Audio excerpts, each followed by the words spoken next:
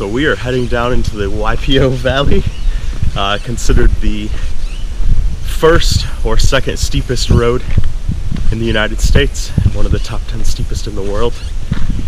Uh, since our rental car cannot drive down here and four-wheel drive only, uh, we're going to walk down this.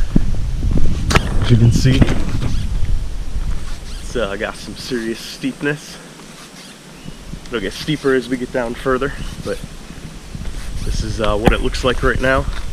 Yeah, I would not want to take a Hyundai Elantra down it.